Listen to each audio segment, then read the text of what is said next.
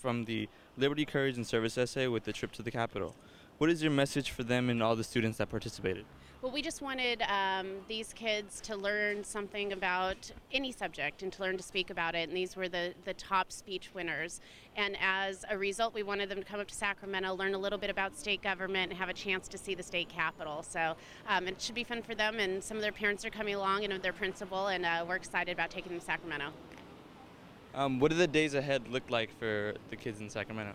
Well, they're going to be here just today, but um, they'll get to see. Actually, we'll have session this morning where we're actually on the floor and they'll be up in the gallery watching um, the session actually happen. So as we vote and do uh, official things, and then uh, they'll take a tour of the Capitol. They'll go to eat um, and, and meet their state senator as well. So they should uh, have a lot of stuff packed into one full day, and then they'll be back tonight.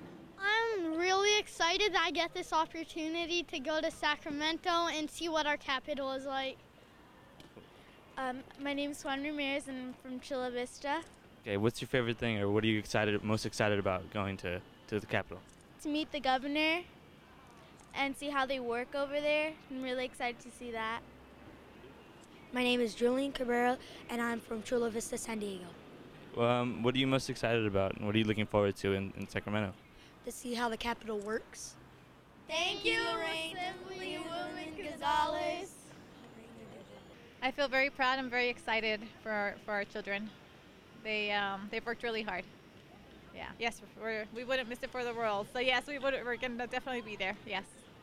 After seeing my son give the speech that he's been giving and and just seeing how motivated he is, I know he's definitely on the path. He's definitely on track, and um, I can see him growing into some being becoming something big. And he's just you know he's just made us all very proud.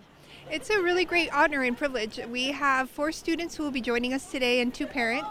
And to be able to take what they're learning in the classroom and give them an opportunity to see it firsthand and to build that partnership with Assemblywoman Lorena Gonzalez and her staff has been a true blessing.